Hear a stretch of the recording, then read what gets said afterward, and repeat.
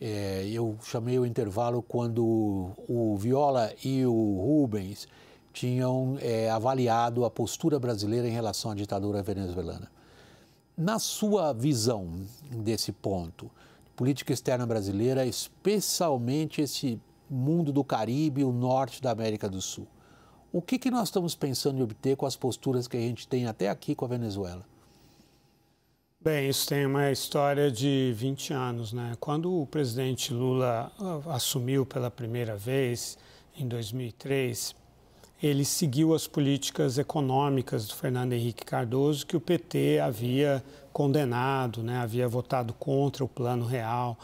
E para compensar essa, esse aceno que eles consideravam que era a direita, que eles haviam é, condenado veementemente, criando é, o jargão a, neoliberal, né? eles usaram a política externa para tentar demonstrar que ainda eram o velho PT, que eram a esquerda mesmo ao chegar ao poder, como se isso não tivesse nenhum preço para o país. Então, eles fizeram concessões para a Bolívia na questão do gás, para o Equador na questão da presença eh, da Petrobras eh, e para a, a Venezuela né, com dinheiro do, do, do, programa de exportação do Brasil que, é, e do BNDES que financiaram obras né, na Venezuela, também em Cuba e em outros lugares. Mas falando da Venezuela, o presidente Lula inaugurou uma ponte sobre o rio Orinoco, é, construída pela Odebrecht, com dinheiro público brasileiro, é, 19 dias antes da de uma eleição que o Chávez disputou em novembro de 2006 e pediu voto para o Chávez. Né? E isso era é, algo sem precedentes na nossa, na nossa história. Né? E a oposição, eu cobria bastante Venezuela, e a oposição venezuelana passou a ver o presidente Lula como um inimigo. Né?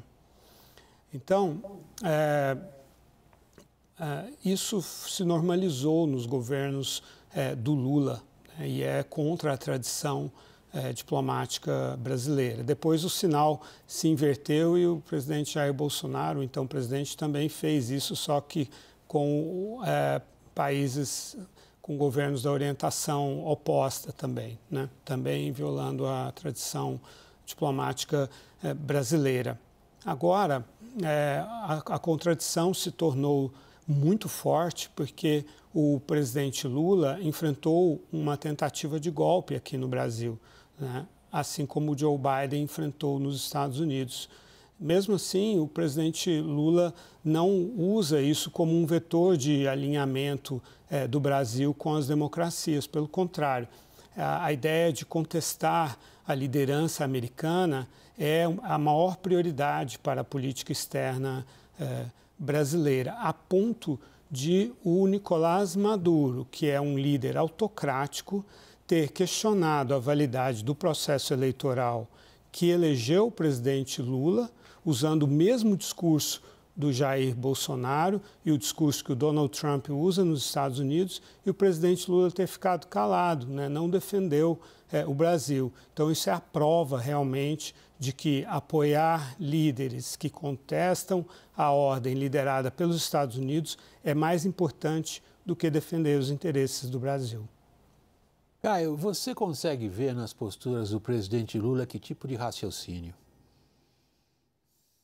William, é, de uma maneira geral, eu penso que a postura do Lula e a postura do Itamaraty, a postura do Celso Amorim é sempre de se colocar ou de tentar se projetar como um interlocutor dos dois lados. Né? Isso eu estou falando aqui, eu estou falando guerra na Rússia, guerra da Ucrânia, estou falando Gaza, todas as tentativas é de se vender ou se apresentar para o mundo como alguém que dialoga é, com os dois lados que estão em conflito. E agora não deixa de ser diferente. Né? Eu noto uma pequena é, é, diferença, porque na semana passada toda essa cautela que a gente está vendo nas manifestações após o resultado eleitoral, elas estavam sim programadas. Né? O Brasil, é, queira-se ou não, não se alinhou é, de imediato à posição da Rússia e à posição da China. Mas, por outro lado, não se alinhou também à posição dos Estados Unidos, da Argentina, é, do próprio Chile nessa questão da Venezuela. É, eu noto é, essa tentativa de se colocar como alguém que, que dialoga com os dois lados, mas fica é, acaba sendo dialogando mais com um lado só, que é o lado, é, nesse caso a Venezuela, do Maduro, né? muito embora é, já havia previsão de encontro com Edmundo Gonzalez. Agora, eu noto também é, e a gente vê como demorou a posição do Itamaraty, né? Se a gente pegar, é, o Itamaraty se posicionou e soltou uma nota oficial hoje, era mais ou menos 11 da manhã, quando o Boric, presidente é, do Chile, já tinha se manifestado, quando os Estados Unidos, quando muitos países, né, União Europeia, já haviam se manifestado. Então, eu fiquei com a sensação de que o Brasil esperou para ver como que os vizinhos e o mundo estavam se posicionando para tomar uma posição. Porque numa situação dessa, o difícil é você se posicionar logo de cara ali. Saiu o resultado e já vai condena e já houve já oposição. Não, o Brasil não foi por esse caminho.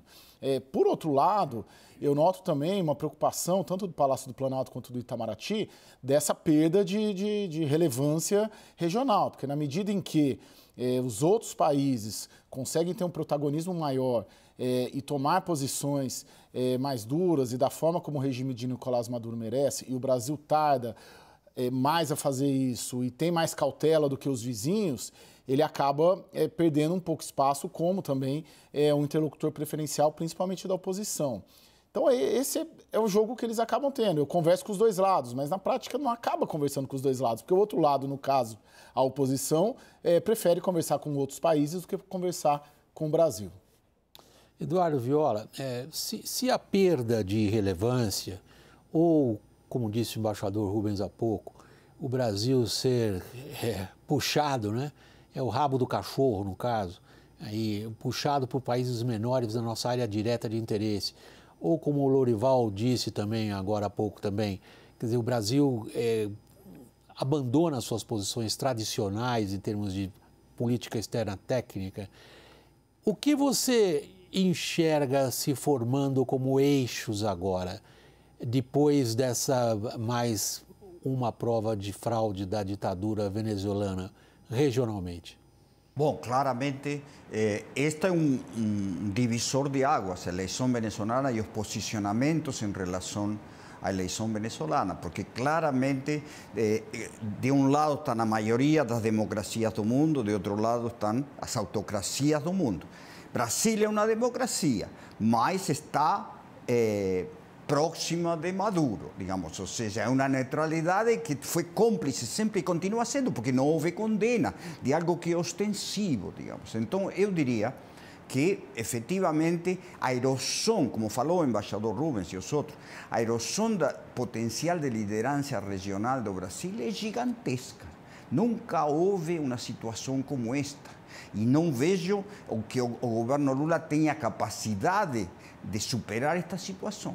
Independentemente de como se posiciona finalmente, já há um posicionamento, digamos, ou seja, dúbio, digamos, ou seja, onde não, há, há, há toda uma coisa, porque não é, em minha visão, não é apenas o interesse nacional, são os valores nacionais. Os valores são importantíssimos na política externa, tá certo? Claro que os interesses predominam sobre os valores em todos os países do mundo, mas o governo Lula não, não sigue os valores democráticos do Brasil, não atua como se fosse uma democracia.